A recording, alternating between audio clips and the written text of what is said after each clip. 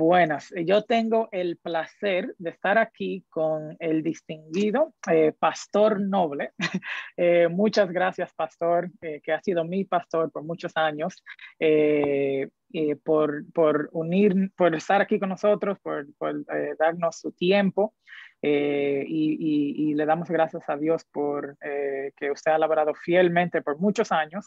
Eh, entonces, este, esta plataforma, estamos aquí en Café con Letras, donde tratamos de hablar sobre un tema bíblico de una manera que aquí en Nueva York y, en otros lugares nos puedan entender. Entonces, Pastor Noble, yo quiero tener una conversación hoy sobre específicamente la predicación.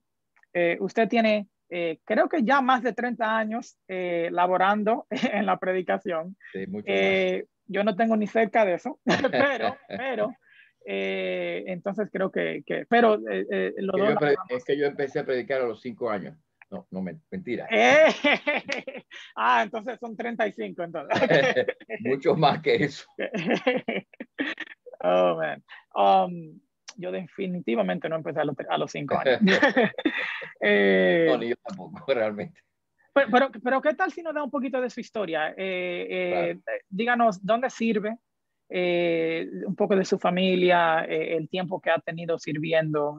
denos una introducción a lo que no conocen al pastor. Bueno, amén. Gracias, Ramni. Gracias. Me, me, me alegro mucho de poder compartir contigo este tiempo y le doy gracias a Dios por lo que Dios está haciendo en tu vida, por el llamado del Señor, que, del cual fuimos testigos nosotros en nuestra iglesia, eh, y, por tu dedicación, tu fidelidad. Así que espero que el Señor te dé un largo ministerio y un fructífero ministerio aquí en esta ciudad donde el Señor te, te envíe. Gloria a Dios, amén. Eh, sí, eh, yo conocí al Señor a la edad de 14 años. Empecé a predicar a los 16 años. Mm. Eh, empecé como asistente, digamos, del pastor. No había cumplido 18 años. Mm. Y, en ese momento, estoy hablando de República Dominicana, soy dominicano, Como eh, eh, ¿En qué ciudad de Dominicana fue eso? En Santo Domingo. E, Esos eran los, comienzos de los bautistas del sur en República Dominicana. Porque mm. déjame decirte lo siguiente, los bautistas del sur llegaron a República Dominicana tarde. Mm. Eh, en toda América Latina, los bautistas del sur llegaron eh, en el 1800, a principios de los 1900, a mediados, etc. Pero en República Dominicana, el primer misionero bautista mm. llegó en el, en el 1962. Wow. Entonces. Antes de eso no había, eh, de, de, la Convención Bautista del Sur, no había. Correcto. Habían bautistas, pero no bautistas del sur. Entonces, la primera iglesia que se estableció, la primera, el primer, digamos... Congregación. Congregación, exacto, que empezó, fue eh, en el 1964. Empezaron dos iglesias casi, mm. casi al mismo tiempo. Y mm. una de ellas fue la iglesia central, de la que yo fui pastor después, y otra fue la iglesia de Osama, de la que fui miembro porque yo me convertí en esa iglesia donde mm. está el pastor Otto Sánchez. Exacto. Y ahí pasé a otra congregación donde me llamaron como asistente del pastor, misioneros. En ese tiempo eran misioneros americanos todos, mm. eh, de la convención de acá. Y así fue como comencé y en realidad yo empecé a prepararme en todo el ministerio sobre la marcha. Es decir, mm. yo, yo, yo, no tuve una, yo no tuve una preparación académica previa, sino que mm. fui lanzado al agua a nadar. en el contexto de la iglesia local. Exacto, y, y, era nadando y aprendiendo a nadar, ¿no? Eh, mientras estudiaba, mientras iba a la universidad, mientras iba al Instituto Bíblico, en fin, todo ese proceso fue un proceso bastante eh, así. Bueno, en fin, llegué a, llegué a ser pastor de dos iglesias eh, durante 25 años en República Dominicana y ahora aquí en Estados Unidos tengo otros tantos, 25, 26 ya, en, en, en aquí en Manhattan. Parece mentira, pero es verdad. Entonces estamos hablando de un ministerio de 51 años más o menos. Así es, así es. Así es. Y por la gracia y la misericordia de Dios nos ha sostenido. Amén, este amén. amén. Entonces, en esos días, eh, vamos a decir, si, no sé si, si, usted puede llevarnos a ese joven de 16 años que está eh, tratando de nadar y servir en el contexto de, de, la iglesia local. ¿Qué entendías ¿Y, y, qué, cómo, tú vas cómo tú definirías eh, el acto de la predicación? ¿Qué es predicar? Y también, ¿cómo ha cambiado en los años? Es decir, en esos años, en el empiezo, ¿cómo entendías tú el rol de, de ministrar eh, la palabra y cómo ha crecido? Y también, ¿cómo lo definirías ahora? Claro. Una cosa que a mí me ayudó mucho en ese tiempo, en que yo no tenía un seminario, en que yo no tenía, fue la lectura, leer. Eh, yo tú dices que tú mismo educarte a leer, es decir, algo que tú mismo. Mm. Exacto. Yo tengo aquí este libro. Este libro me lo regaló un amigo mío, se llama El Sermón Eficaz, y, y después quiero hablarte del libro este. Mm. Pero este libro me lo regaló mi amigo, mano Víctor Torrens, el 16 de febrero del año 1968. Hmm. ¿Ok? yo, conocí, yo conocí al Señor en el 66. Este libro me lo regala él en el 68. Porque más o menos para ese tiempo yo empecé, eh, empezó a despertarse mi interés en la predicación. Jovencito.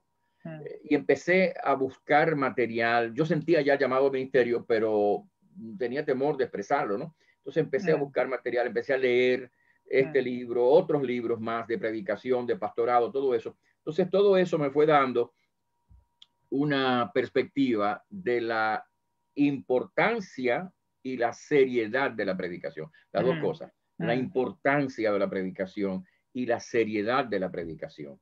Entonces, sobre esa marcha fui, fui caminando, ¿no? Por supuesto, uno va creciendo, uno va madurando a lo largo de los años y eso te va fortaleciendo, te va ayudando. Eh, fui aprendiendo, fui leyendo. Eh, eh, una de mis metas era, por ejemplo, cuando yo empecé a, leer sobre lo que era el sermón expositivo, mm. Yo no entendía bien, no entendía bien porque no encontraba un modelo, porque hay diferentes definiciones sobre la predicación mm. expositiva, mm. pero cayó en mis manos, cayó en mis manos en los años 70, ¿ah? cayó en mis manos eh, el libro de Martin Lloyd Jones sobre el Sermón del Monte. Oh, sí, sí, sí, sí. Entonces, cuando yo leí el libro de Lloyd Jones, aparte de bendecirme espiritualmente, porque mm. El contenido excelente, yo aprendí a amar el mm. Sermón del Monte leyendo ese libro. Mm, Pero sobre todo aprendí, entendí lo que era la predicación expositiva leyendo a Martin Lloyd Jones. Entonces, eh, fue, fue así, fue un proceso, fue aprendiendo, fui desarrollando y, y, bueno, el Señor nos ha traído hasta, hasta este momento. Entonces, en ese entonces, Dios empezó a desarrollar en ti una convicción que la predicación tenía que ser expositiva, es decir, eh, que tiene que tratar de, de, de, reflejar lo que enseña la Biblia. Eh, Qué interesante. Sí, yo, yo ah, quiero aclarar algo, ¿no? Quiero aclarar algo. Mira, yo creo con todo mi corazón que toda predicación verdadera, toda predicación verdadera, no importa en la parte técnica, toda predicación verdadera tiene que ser bíblica. Hmm. No importa si es temática o si es expositiva o si es textual. Hmm. Tiene que ser bíblica. De hecho, el más famoso predicador que todo el mundo cita, Charles Spurgeon, no era un predicador expositivo, era un predicador textual eh, ah, y, temático, exacto, las dos cosas, textual y temático, pero era un, predicador bíblico. Entonces, yo estoy convencido de la importancia de la predicación bíblica. Ahora bien, mm. mi manera preferida de predicar es a través de lo que es un sermón expositivo o un sermón textual, porque te voy a dar la diferencia. Y después quiero mencionarte algo de este libro, que no sé si tú lo conoces o lo conocías antes. No, no creo que no, eso menciona, menciona. Te voy a decir, te voy a enseñar, te voy a decir algo. Eh, eh, como dice este hombre, eh, este hombre, James Crane, se llama James Crane, ese fue un misionero bautista del sur en, en México. Hmm. este hombre enseñó en el Seminario Bautista del Sur en México por muchos años. Tuve el privilegio de conocerlo, llevarlo a República Dominicana, compartir con él. Él escribió este libro originalmente en español. Es decir, tú te mm. imaginas un americano mm. escribiendo un libro en español. Interesante. Cuando, tú lees el libro, tú, te quedas asombrado de, la manera como este hombre maneja el español. Mm. En mi opinión, en mi opinión, Lo que pasa es que este libro es un libro desconocido casi en el día de hoy. En mi opinión, este es el mejor libro hmm. para aprender los rudimentos de la predicación. Hmm. Lo demás tú lo puedes aprender, tú puedes aprender cómo, tú puedes comprar un libro sobre predicación expositiva, tú puedes aprender, pero para aprender cómo se construye un sermón, en mi opinión, este es el mejor. Entonces, este hombre dice, y es verdad, que el sermón expositivo no es más que un sermón textual ampliado o tal vez un sermón textual estricto. Mm, porque mm. la diferencia entre el expositivo y el textual. Y creo que tiene la mejor definición también de lo que es un sermón expositivo. Porque hay muchas definiciones, pero hay, que, hay que atenerse a, digamos, a, las características de un sermón expositivo para poder tú definirlo. Yo mm. recomiendo este libro enormemente, incluso lo recomiendo como texto para seminarios, de hecho se usa así.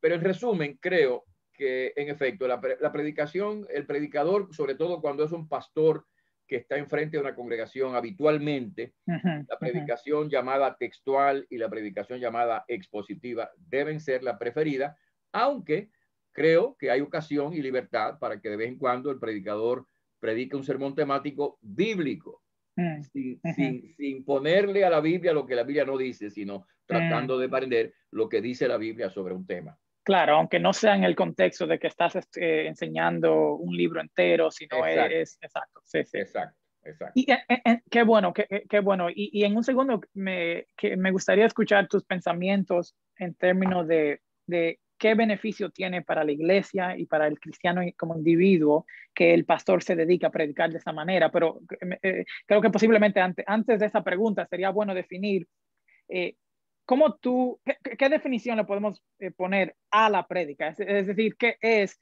eh, el acto de predicar? ¿Cómo definirías eso? Eh, aquí vuelvo a, aquí vuelvo a ser, a ser, a, a, ser influido por las definiciones de, de, de James.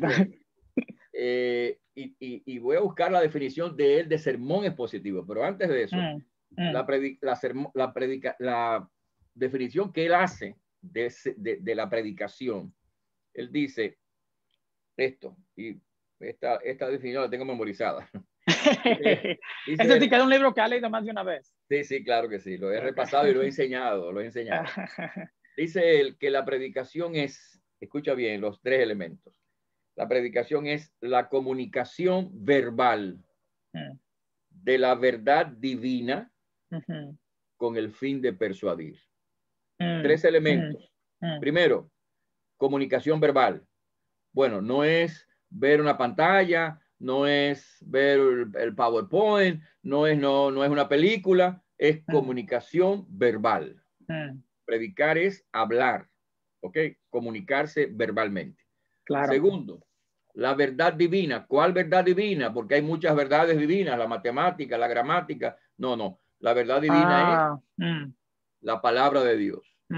Entonces, comunicamos verbalmente la palabra de Dios, la palabra de Dios. El elemento central de la predicación es la palabra de Dios. La base, la fuente es la palabra de Dios.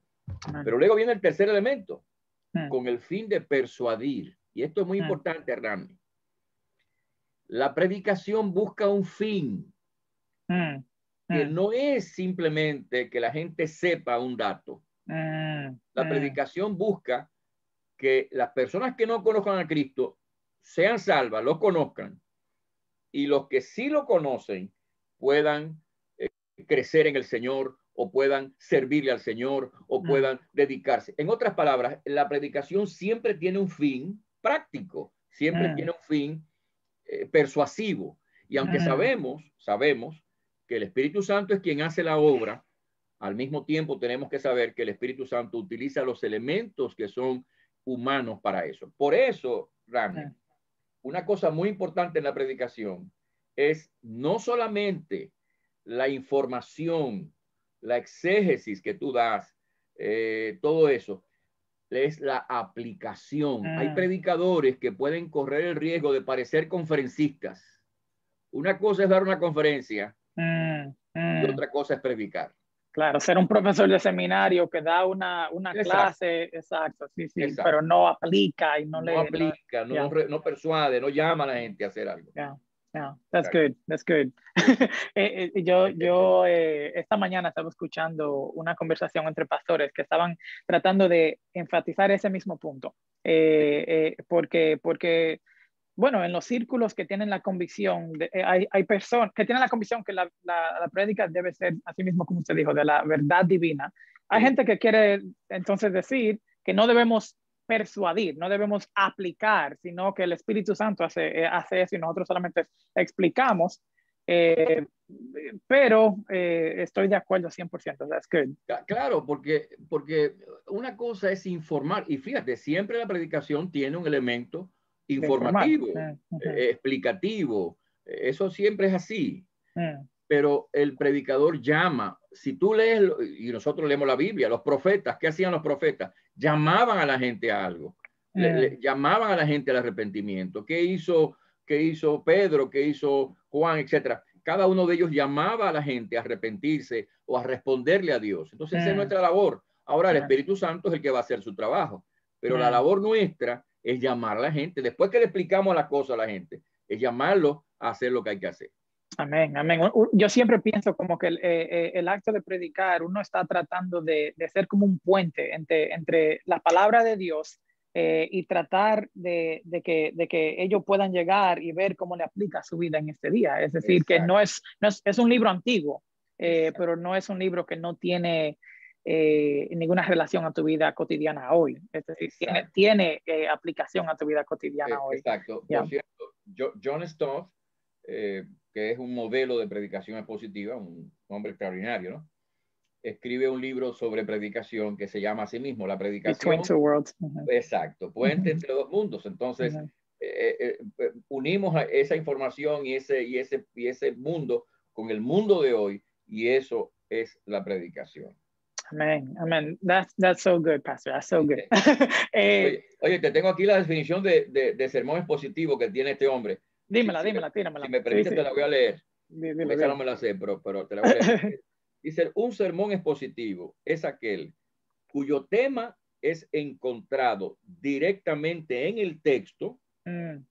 siendo desarrollado con material provisto por la recta interpretación del texto para lograr un propósito que armonice con el significado original del texto. Es decir, que él, que él ah. cree que, que, que, todo que un sermón expositivo tú lo sacas, de, de, el tema tuyo lo sacas del texto, el, el esquema, el desarrollo, eh, el bosquejo lo sacas del texto y el desarrollo lo sacas de las ideas del texto. No quiere decir que no, que no vas a usar otros versículos, en algún momento lo puedes usar, pero el desarrollo está allí y dice él, y tiene que estar el propósito de ese sermón, armonizar con el propósito de ese texto.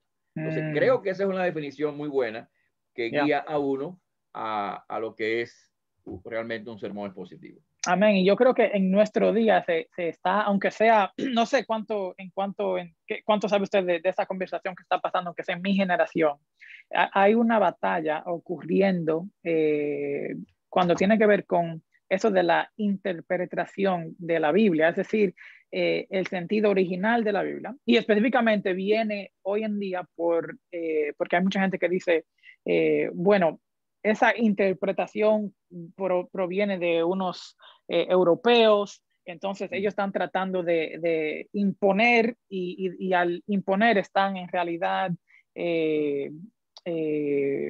oppressing, ¿tú entiendes?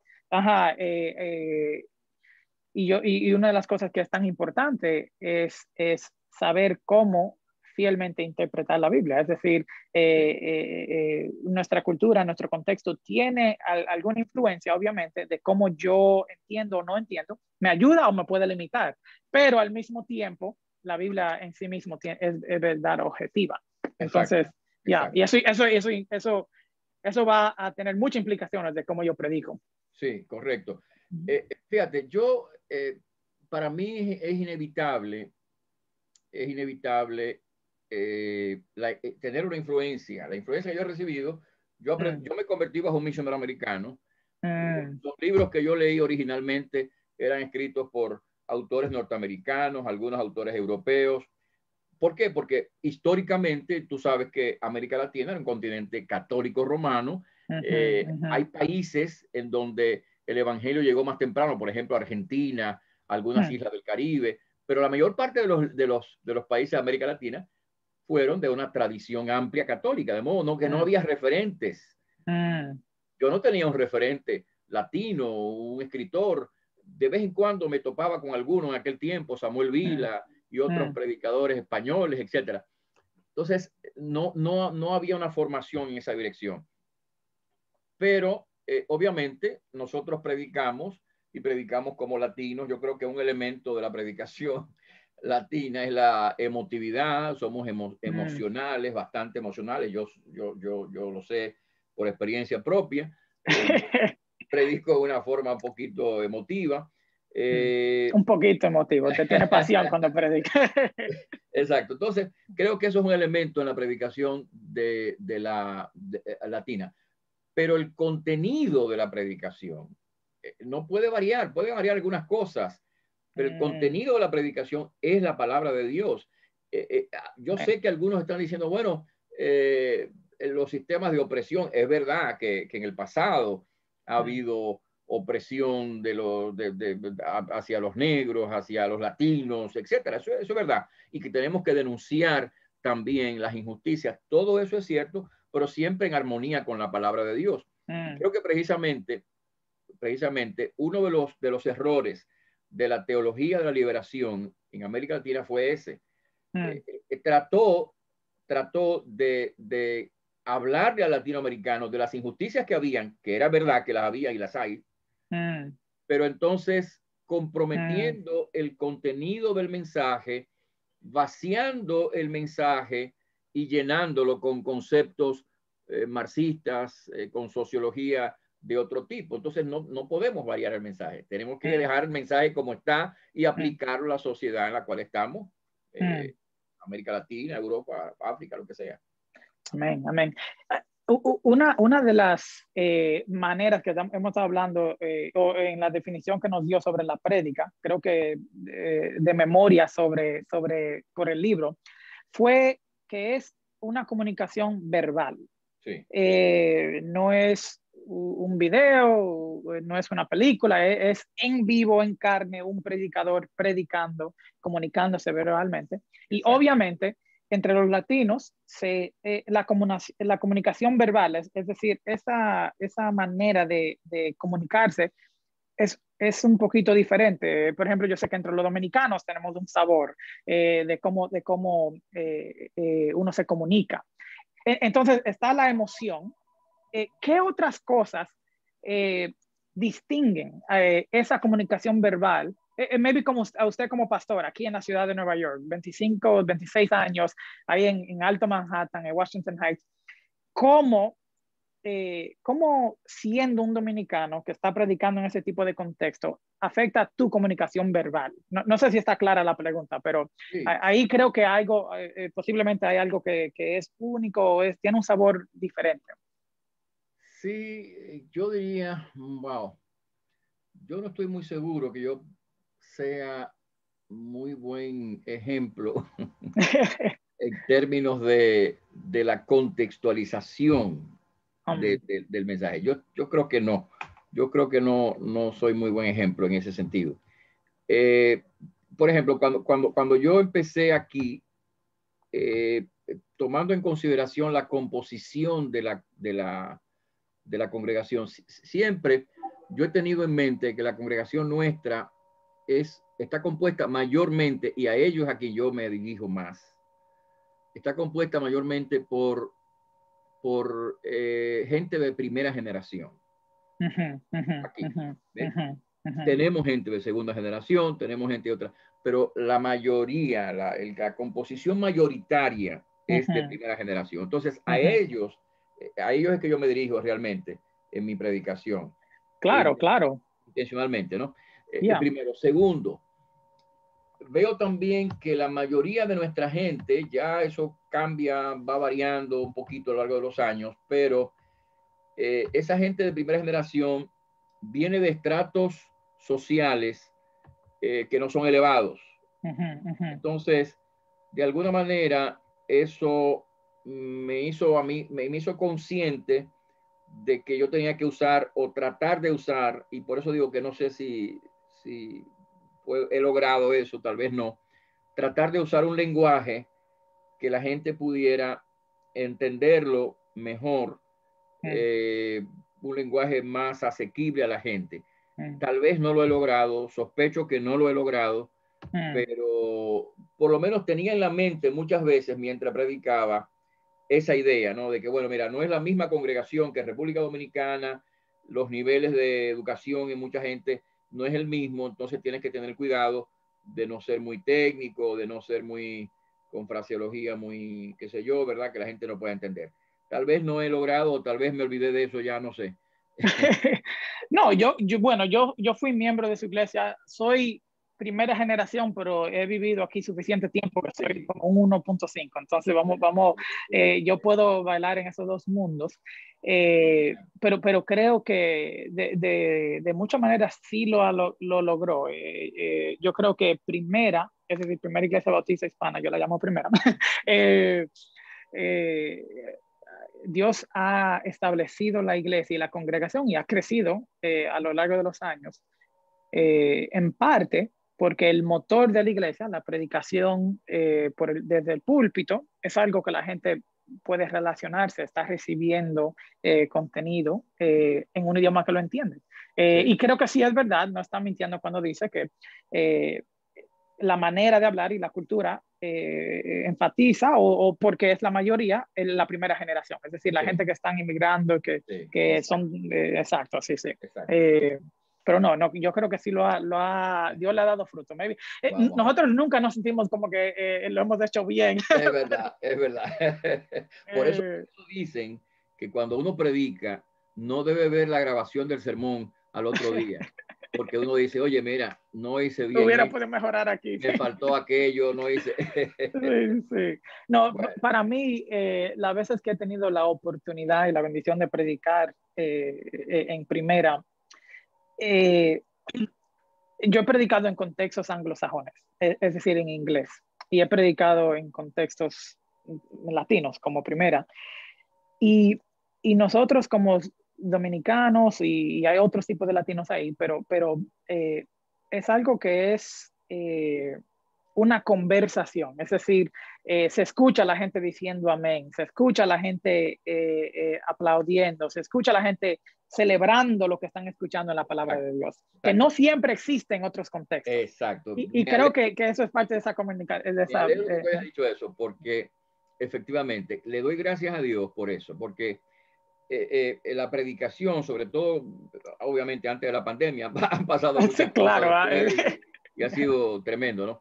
Pero, pero especialmente antes de la pandemia, durante todo el tiempo que tuvimos, hemos estado trabajando, eh, la gente, como tú dices, o está diciendo amén, o está aplaudiendo, o está tomando notas, o, está, y eso es una cosa que yo le digo a la gente eh, deliberadamente, justamente para que ellos se acuerden que lo que estoy haciendo es predicando la Biblia.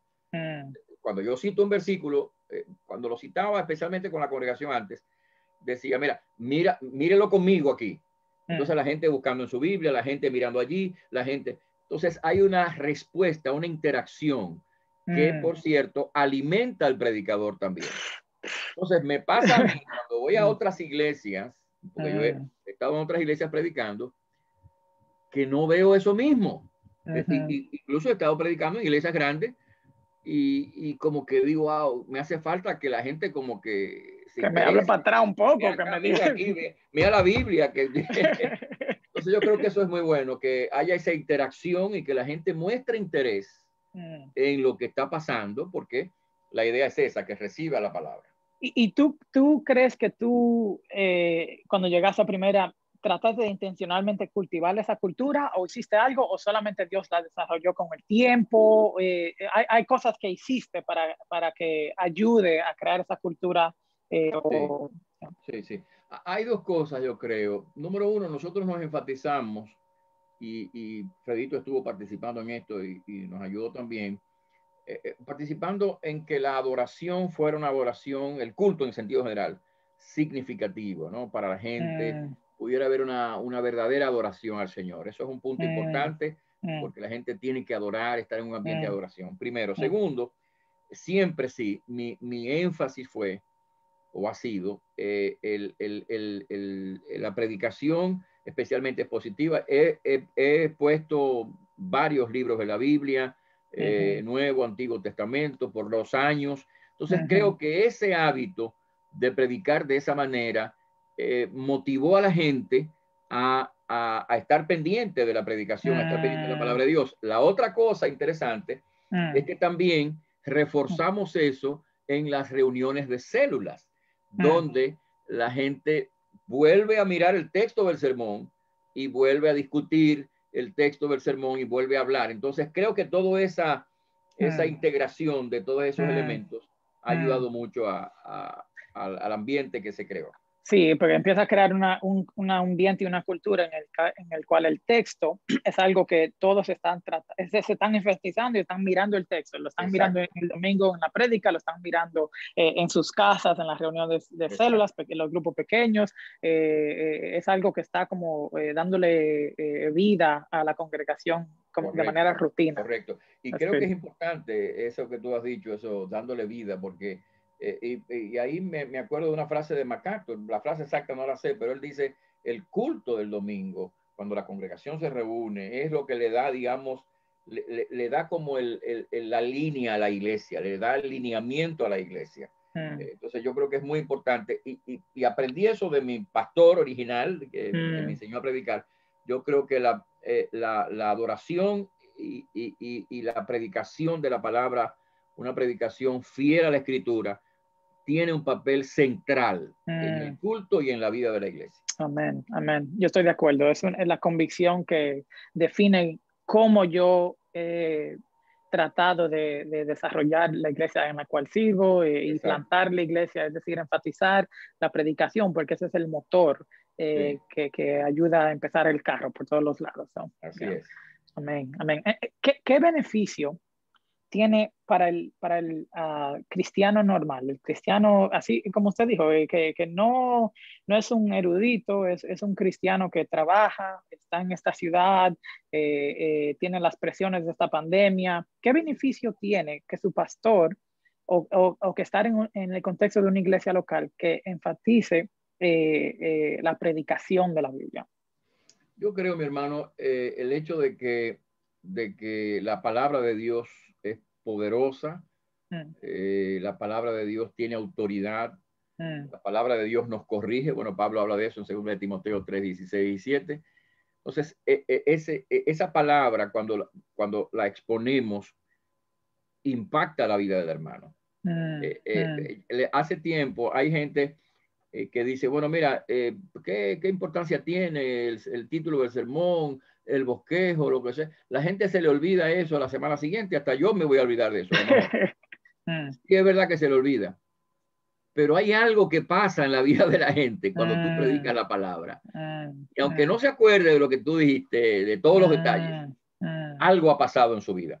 Decía alguien, mira, yo no sé, no me acuerdo de ninguna de las recetas que mi esposa usa pero yo me alimento con lo que ella hace para, cuando cocina, ¿verdad? That's good, that's good. I like Eso mismo pasa con la predicación. Entonces yo creo que predicar la palabra con fidelidad, con dedicación, impacta la vida de la gente, llena necesidades espirituales, ya sea de consuelo, de, de, de orientación, ya sea confrontar a la persona con el pecado, ya sea ministrar y, yo sé que tú has vivido eso en tu experiencia. Eh, en, estos mismos, en esta semana que pasó, mm. teníamos una reunión virtual, claro, en el, del grupo de, de, líderes que nosotros llamamos grupo de apoyo pastoral, que es el, los mm. líderes que dirigen a los líderes. Mm, y entonces contaban algunos testimonios de la predicación del domingo pasado, creo que fue.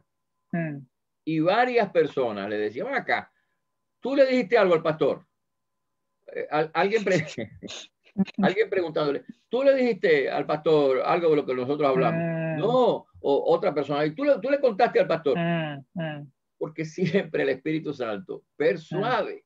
Entonces yo creo que esa es una de las bendiciones, que si la predicación se mantiene enfocada en lo que tiene que ser, la iglesia va a estar alimentada espiritualmente, la iglesia va a madurar espiritualmente, la gente va a ser confrontada con su necesidad espiritual, la gente va a ser consolada y fortalecida. Déjame darte este ejemplo. Eh, en marzo del año pasado yo estaba predicando una serie de sermones en Nehemías y yo mm. llevaba hasta el capítulo 3 de, de Nehemías. Pero ¿qué pasa? ¡Pum! Golpea la pandemia. El susto del siglo, la gente asustada, la gente en pánico. Bueno, ¿qué pasó entonces con yo, ¿qué, ¿qué, pasó? Yo seguí con la con la con la con la mm, serie de serie. No. El mm. Espíritu Santo me guió a cambiar todo. Claro. Y entonces fui en otra dirección tratando de ayudar a la iglesia a número uno consolarse, gente perdió a sus familiares, gente estaba enferma. Número dos, poder, poder colocar en el contexto de la palabra esta situación.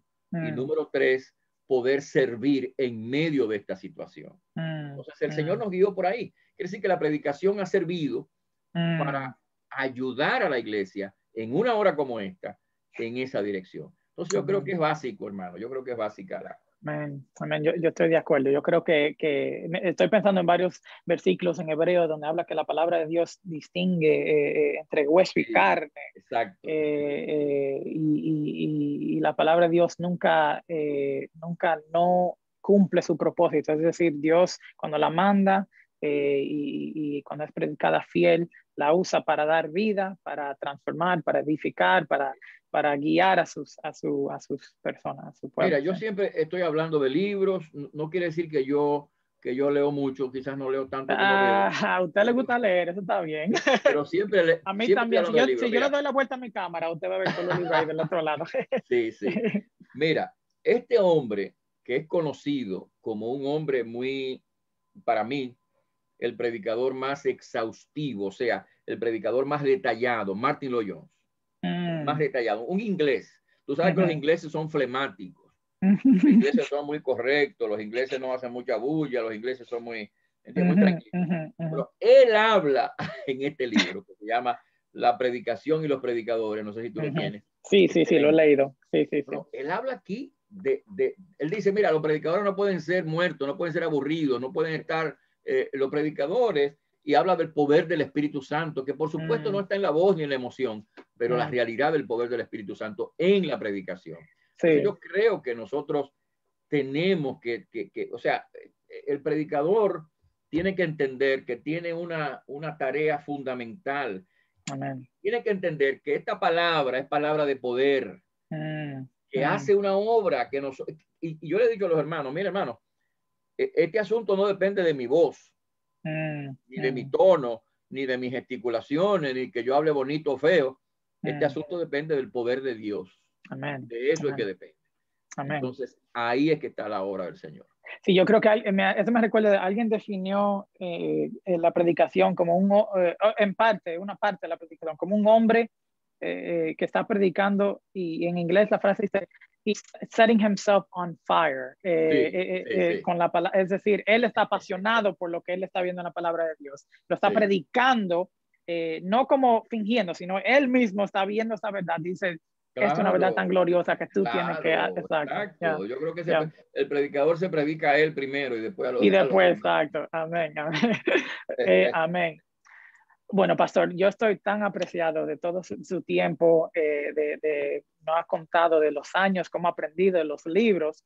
Eh, eh, yo estoy seguro que posiblemente hay gente que, que, van a escuchar esto, que tienen interés de servir en el ministerio, o, o personas en esta ciudad o en otras ciudades que, que quieren considerar o, o, necesitan ayuda considerando cómo, cómo decidir eh, dónde estar en la iglesia, cómo, cómo relacionarse con la iglesia local.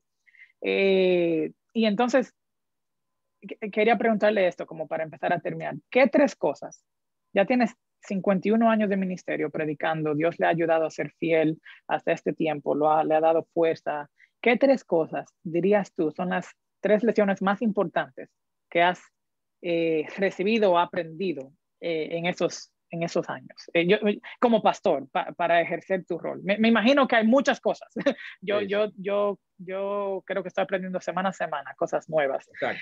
Pero, pero si puede darle un resumen de tres, tres cosas que dirías, ok, mira, estas son tres cosas muy importantes eh, eh, que he aprendido en estos años.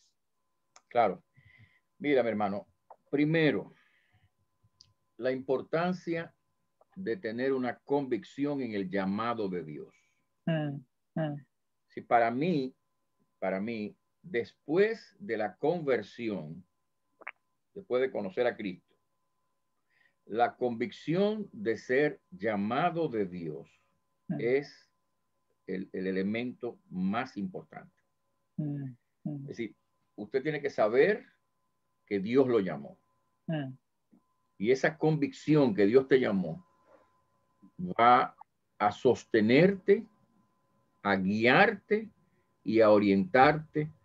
Y tú vas a ver la vida y tu vida en ese momento y después de, este, de, la hora, el, presente y el futuro, lo vas a ver y vas a evaluar el pasado mm. a la luz de esa, de esa obra del Espíritu Santo, de ese llamado. Entonces, para mí, estar convencido de que Dios te llamó.